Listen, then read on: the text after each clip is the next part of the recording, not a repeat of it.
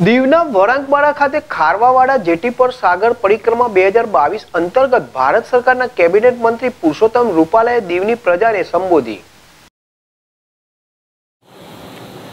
આ પ્રસંગે ભારત સરકારના કેબિનેટ મંત્રી અને સંઘ પ્રદેશ પ્રશાસક દ્વારા માછીમારોને કિસાન ક્રેડિટ કાર્ડનું વિતરણ કરવામાં આવ્યું હતું. આ સાથે સાગર પરિક્રમા બે હજાર બાવીસના બીજા ચરણ અંગે રાષ્ટ્રીય મત્સ્ય વિકાસ બોર્ડના મુખ્ય કાર્યકારી અધિકારી ડોક્ટર સી સુવર્ણા દ્વારા ટૂંકમાં પરિચય આપવામાં આવ્યો હતો.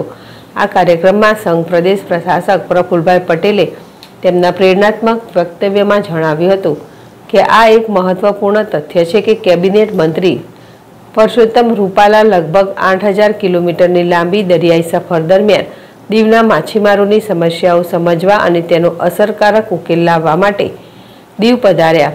આ માટે પ્રશાસક પ્રફુલભાઈ પટેલે કેબિનેટ મંત્રી પરસોત્તમ રૂપાલાનો હૃદયપૂર્વક આભાર માની તેઓએ નક્કી કરેલા લક્ષ્ય પ્રાપ્ત કરવા શુભેચ્છાઓ પાઠવી હતી.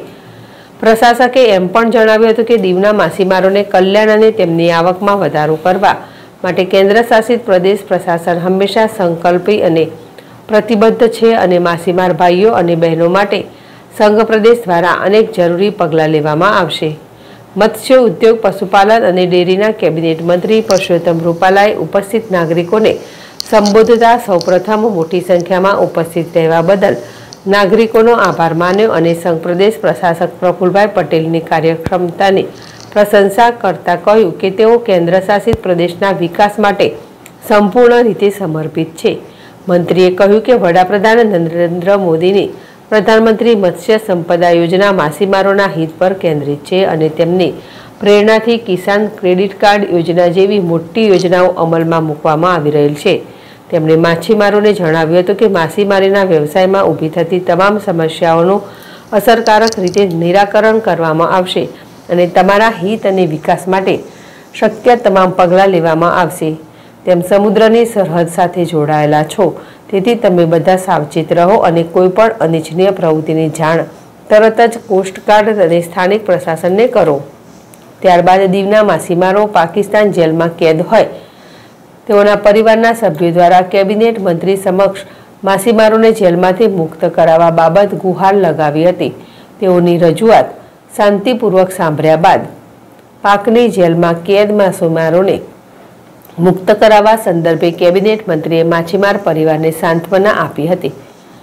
આ પ્રસંગે ભારત સરકારના મત્સ્ય ઉદ્યોગ વિભાગના સંયુક્ત સચિવ જે બાલાજી નેશનલ ફિશરીઝ કોર્પોરેશનના ચીફ એક્ઝિક્યુટિવ સુવર્ણાજી ભારતીય કોસ્ટગાર્ડના હરમોલાજી, અમરેલીના લોકસભા સંસદ, નારાયણ કાછડિયા, દીવ જિલ્લા પંચાયતના પ્રમુખ અમૃતાબેન અમૃતલાલ ભામણિયા, દીવ નગરપાલિકાના પ્રમુખ હેમલતાબેન સોલંકી અને મોટી સંખ્યામાં માછીમાર પરિવારો ઉપસ્થિત રહ્યા હતા.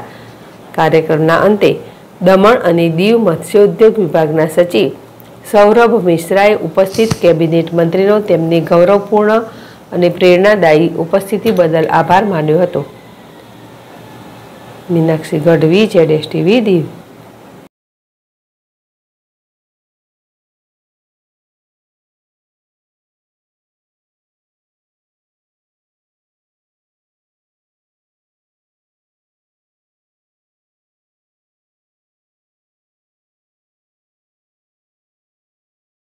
પરિક્રમા નંબર ટુ દ્વારા ભારતના કેન્દ્રીય મિનિસ્ટર શ્રી પરસોત્તમભાઈ રૂપાલા મત્સ્ય ઉદ્યોગ, પશુપાલન ડેરીના કેબિનેટ મિનિસ્ટર આજે અમારા વરાંગપાડાના આંગણે કે દીવ વિસ્તારમાં વધામણી થઈ. એ અમારા માછી માટે માટે ખુશીનો પ્રસંગ છે. સાહેબને અમારી જે ત્રણ મુદ્દાઓ અમારા જે અમને જે માછીમારોની સાથે લગતા હતા, એ મુદ્દાઓ અમે સાહેબને ભોગલા મિટિંગ કરીને એની સાથે અમે ચર્ચા કરી. જેમાં વિશેષ ભારતના તમામ ફિશરમેનોને એક્સાઇઝ ડ્યુટી માફ કરીને રાહત પેકેજ ડિક્લેર કરવામાં આવે. પહેલાં અમને કન્ઝ્યુમરમાં રાખવામાં આવ્યો, એમાં અમને રાહત મળતી હતી. પણ કન્ઝ્યુમર અને રિટેલના ભાવ વધી જવાને કારણે અમને અત્યારે કન્ઝ્યુમર પોસાતું નથી. કન્ઝ્યુમરમાં દાખલા તરીકે રેલવે માઇલ સાગર સુગર ફેક્ટરીઓ, રેલવે, એ બધી એમાં સામેલ છે.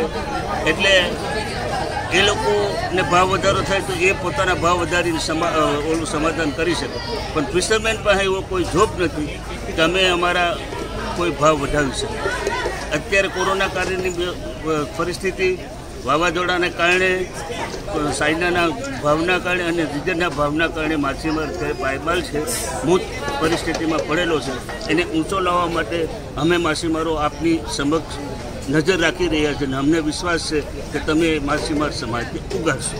બીજો અમારા પાકિસ્તાનમાં પકડાયેલા માછીમારોનો પ્રશ્ન હતો કે જે ઓગણીસો અઢાર, અઢારથી, બે હજાર અઢારથી થોડાક દસ બાર જણા છૂટ્યા છે, સાથે કોઈ છૂટતા નથી. અત્યારે બે ત્રણ જણાના મરણ પણ થઈ ગયા છે. તમે સાહેબને રિક્વેસ્ટ કરી કે એ લોકોને પણ જલ્દી છૂટા કરે. ત્રીજો પ્રશ્ન અમારો એ હતો કે જેમ દીવ દમણ હેપ ફિશિંગ હેપ શરૂ કરવામાં આવી છે. એના દ્વારા એમાં જે જે કોઈ બધી ડોક્યુમેન્ટ મોટના ટોટલી આવી છે પરંતુ અમારે ઓખા કે જખો ફિશિંગ કરવા જવું હોય, તો અમને ત્યાં અટકાવવામાં આવે છે. એને પરમિશન આપવામાં આવતું નથી અમે વિનંતી કરી સાહેબને કે દી વન દી વન. સાગર પરિક્રમા બીજા તબક્કામાં આજે અમારે દીવ મુકામે સાગર પરિક્રમાના ભાગરૂપે આવવાનું થયું. સમગ્ર દેશના તટવર્તી વિસ્તારમાં ખાસ કરીને માછીમારી સાથે સંકળાયેલા સમાજના ભાઈઓને મળવા, એમની સાથે સંપર્ક કરવા, એમની સમસ્યાઓને સમજવા, એમની સમસ્યાઓના સમાધાનો શોધવા માટે અને આપણા સમગ્ર સાગર કિનારાના જળસૃષ્ટિને અને આપણી ઇકોલોજીને જોવા અને સમજવાના આશય રૂપે આ સાગર પરિક્રમાનું આયોજન કરવામાં આવ્યું છે. આદરણીય પ્રધાનમંત્રીશ્રીએ મત્સ્યપાલન વિભાગને સ્વતંત્ર મંત્રાલયનો દરજ્જો આપ્યા પછી એમણે કરેલા નિર્ણયો, રાજ્ય સરકારોએ કરેલા પ્રયાસો અને મત્સ્યપાલનની દિશામાં થયેલા નવાચારો એ સમાજના છેવાડાના માણસ સુધી એની જાગૃતિ આવે. અને આપણા સમુદ્ર કિનારાને સ્વચ્છ અને સુરક્ષિત બનાવવાની જનજાગૃતિ આવે એવા આશય સાથે આ યાત્રા આજે દીવ સંઘ પ્રદેશની અંદર આવી હતી. અહીંના પ્રશાસક શ્રી પ્રફુલભાઈ પટેલ અને વહીવટી તંત્રની ઉપસ્થિતિમાં વિશાળ સંખ્યામાં સંઘ પ્રદેશના માછીમાર ભાઈઓએ અમારી યાત્રાને વધાવી અને એનો ભાગ લીધો હતો. આજે અમે અહીંયા આ કાર્ય મુખ્ય કાર્યક્રમમાં આવતા પહેલાં ઘોઘલા વિસ્તારની મુલાકાત લઈ અને ત્યાંના માછીમાર સમાજના આગેવાનોની સાથે વિચાર વિમર્શનો કાર્યક્રમ પણ કર્યો. ધન્યવાદ. સર પાકિસ્તાન માછીમારો છૂટવા માટે માછીમારોની માંગ છે. ચાર વર્ષથી નથી છૂટેલા. માછીમારો પાકિસ્તાન જેલમાં માછીમારો છે. પાકિસ્તાનની અંદર રહેલા માછીમારો અંગે અમને જખૌથી શરૂ કરી, કચ્છથી શરૂ કરી અને અહીંના તમામ વિસ્તારમાંથી રજૂઆતો મળી છે. માઢવાડની અંદર પણ બહેનોએ મળીને અમને